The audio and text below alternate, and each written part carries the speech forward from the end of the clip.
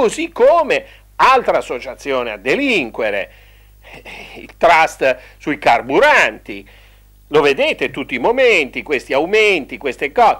Da anni le associazioni di difesa dei consumatori cosa dicono? Ma almeno facciamo un provvedimento, almeno blocchiamo, congeliamo il prezzo del carburante per tutta la settimana. Non si può cambiare nell'arco della giornata il prezzo, ma ci sono dei casi che mentre ci mettono la benzina iniziano a farci il pieno a un prezzo, a metà è già aumentato e alla fine è aumentato una terza volta, come in, in Germania negli anni 20 che eh, eh, si valevano miliardi di marchi il, il, il, il pane quando c'era la, l'inflazione arrivata al 75.000%. Ecco, ci fanno questo.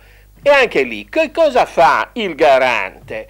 Che cosa fa l'antitrust? Cosa fa il presidente Catricalà con l'accento sulla A? Si riserva, dice che secondo voi lui c'è qualcosa che non va. Mazza, oh, se ne è accorto anche Catricalà. È un cartello, è evidente che ci sia un cartello, quindi bisognerebbe intervenire.